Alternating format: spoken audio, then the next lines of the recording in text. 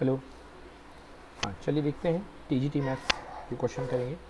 पहला देखते हैं क्वेश्चन नंबर कल जो क्लास हमने छोड़ा था, उसके आगे। ठीक है ना, ये लेक्चर नंबर सिक्स है। तो क्वेश्चन नंबर फिफ्टी टू है हमारा।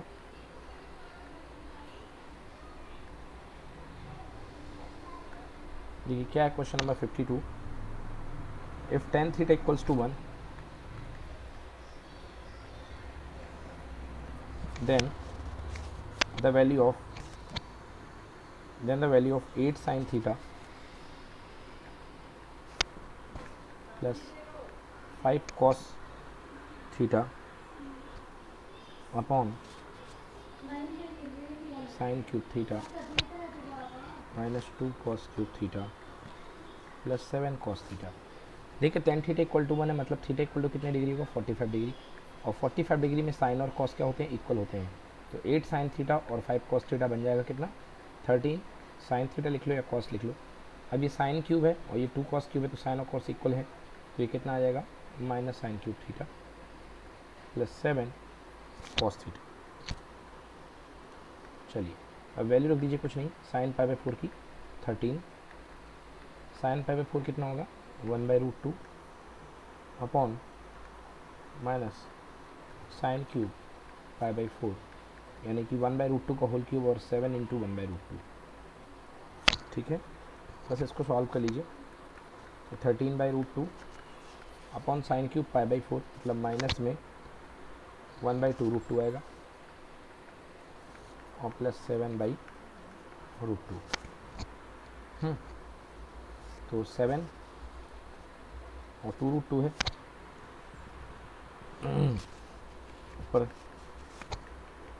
thirteen by root two okay और यहाँ पे कितना है? Seven cos theta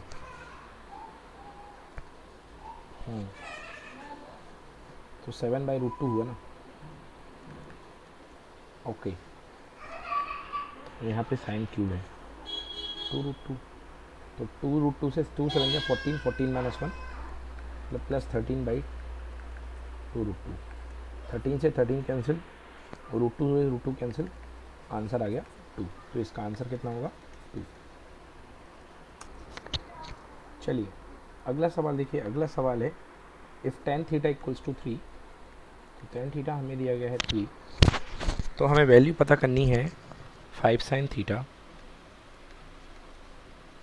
plus four cos theta divided by sine cube theta plus three cos cube theta plus two cos theta की। हमें ये वैल्यू फाइंड करनी है। चलिए इसकी वैल्यू फाइंड करके बताइए। चलिए देखिए, इसको सॉल्व करने का मेथड जो है, इसको सॉल्व करने की मैं केवल ट्रिक बता रहा हूँ। ये कोई ऑफिशियल कोई रूल नहीं है। इस तरह के क्वेश्चन को सॉल्व करने का मेथड आपको बता रहा हूँ। देखो टेन थीटा की वैल्यू थ्री है ना तो साइन में अगर आप कॉस का डिवाइड करोगे तो क्या आएगा? टेन थीटा बन जाएगा। तो सॉल्व कैसे होगा? Five multiplied by three plus कितना हो जाएगा? फोर। ओके? अब साइन क्यूब थीटा है और थ्री कॉस क्यूब थीटा है। ओके? तो इसका लिखो थ्री और इसका लिखो टू। तो आंसर पाँच गुणे तीन पंद्रह और चार उन्नीस। तो आंसर आएगा इसका नाइनटीन बाई फाइव। अभी एक दो क्वेश्चन और कराऊँगा तो आपको ट्रिक क्लियर हो जाएगा। इस तरीके की क्वेश्चन की वैलिडिटी के लिए मैं आपको एक चीज़ बता देता हूँ कि जैसे ये देखिए, यहाँ पे जो वैल्यू लिखी हुई है, three tan theta equal to three. तो ये वैल्यू आपको यहाँ पे मिलेगी थ्री। और ये जो वैल्यू होगी, आपको दोनों सेम टू सेम मिलेगी। मतलब ये वैल्यू और ये ये जो वैल्यू आपको मिलेगा, ये सेम मिलेगा। ठीक है ना? तभी ये क्वेश्चन वैलिड होगा, तभी ये लगेगी ट्रिक ओके चलिए, देखिए, बिल्कुल मिलता जुलता क्वेश्चन उसी जैसा। अब tan theta equals to five है। तो क्या हो जाएगा? देखिए फोर में कॉस का डिवाइड करेंगे तो फोर और ये बन जाएगा cos sine upon cos tan तो फोर इंटू फाइव प्लस इसका क्या आएगा? थ्री आएगा। ओके देन इसके बाद देखिए, ये वाला टर्म फाइव किसमें मैच हो रहा है? इसमें। तो इसका पाँच लिख दो और इसका सात लिख दो। तो आंसर बीस, तीन, तेईस बटे बारह।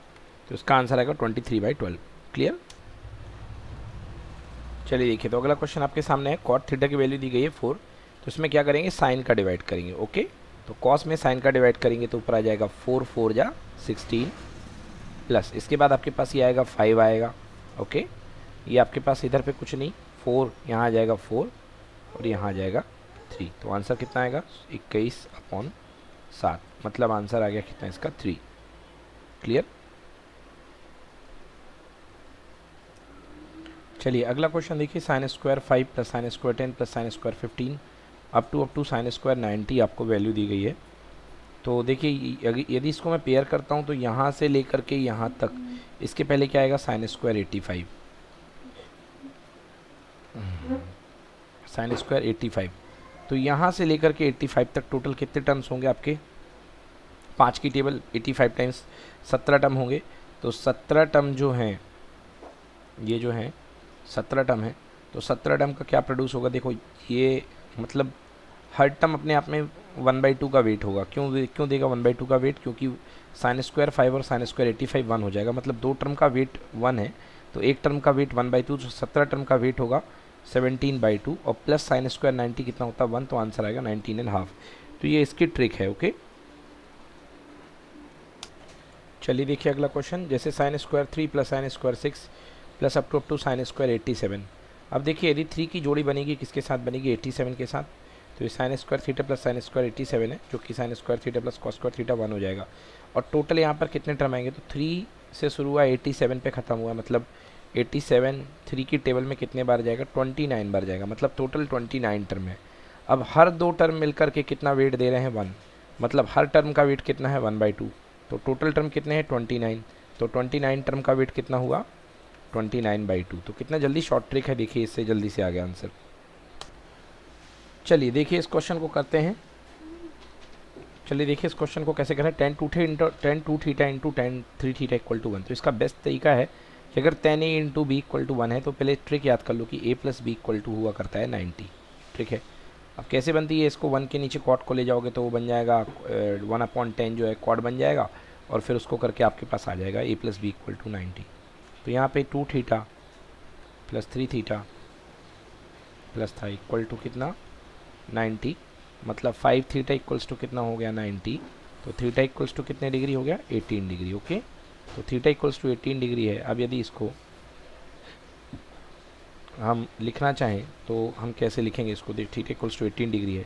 तो साइन की पावर एन जो भी है, यानी कि साइन एटीन थीटा एटीन और फाइव का मल्टीप्लाई तो कितना हो गया? एटीन फाइव ज़ा नाइन्टी साइन 90 की पावर एन और कॉस 90 की पावर एन तो ये तो हो गया वन की पावर एन यानी वन और आंसर ज़ीरो तो आंसर आएगा कितना? वन ओके देखिए तो sine square alpha plus sine square beta की वैल्यू वन है तो आपसे बोला गया है कि साइन अल्फ़ा प्लस बीटा और cot alpha plus beta one कब होगा। अब देखिए साइन स्क्वायर अल्फ़ा और ये साइन स्क्वायर बीटा जो है वन कब देगा?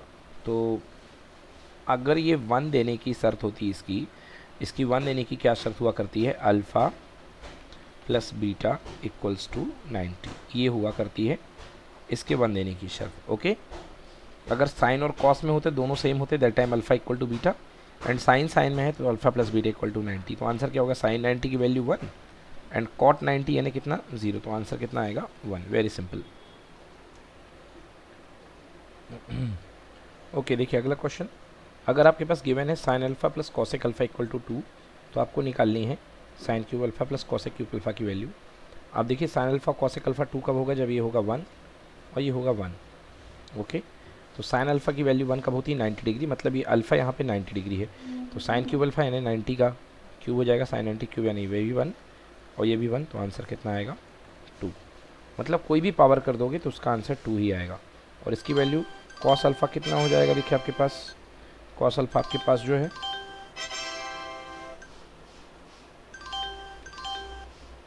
कॉस अल्फ़ा जो है आपके पास कितना हो जाएगा? देखिए ज़ीरो हो जाएगा और कॉट क्यूब कॉट की power alpha N alpha equal to zero तो आंसर इक्वल्स टू कितना? ज़ीरो ओके ये हो गया आंसर। नोट करिए।